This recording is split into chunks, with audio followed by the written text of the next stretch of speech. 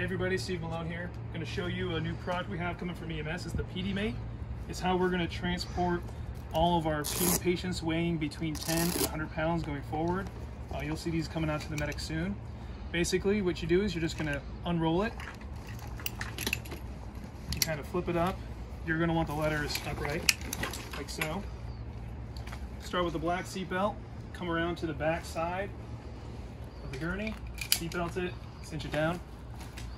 You're gonna repeat the process with the gray one, uh, but do note that it is attached to the shoulder straps for the patient, so just keep that in mind when you cinch it down.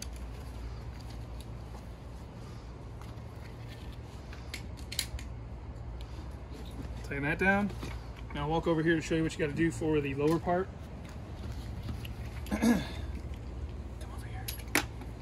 So with these, they don't reach too far, but they have to go on the frame. So just come lift up the mattress a little bit and just come around that spot right there. That little cinch. Same thing on the other side.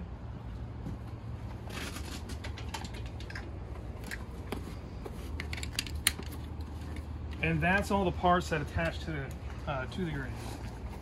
So now, we will take the baby, put in here, and it's just pretty much like a regular car seat at this point. Clip in the waist. You have a chest strap.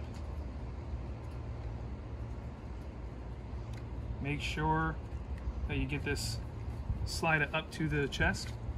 And then for larger kids, or if they're kind of uh, kicking a lot, there is an additional chest strap that can go around them as such.